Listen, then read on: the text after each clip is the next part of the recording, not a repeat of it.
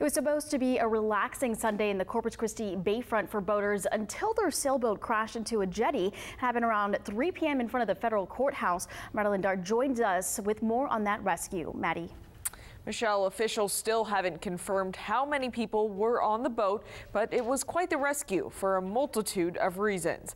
Several crews coming to the sailboat's aid. However, one of the rescue boats broke down while responding to the incident. An official who spoke off camera said they aren't sure what caused it to shut off. It was also a very windy day, but officials have not confirmed if that was a factor in the crash. The off camera official also told us that there were not any injuries. Michelle.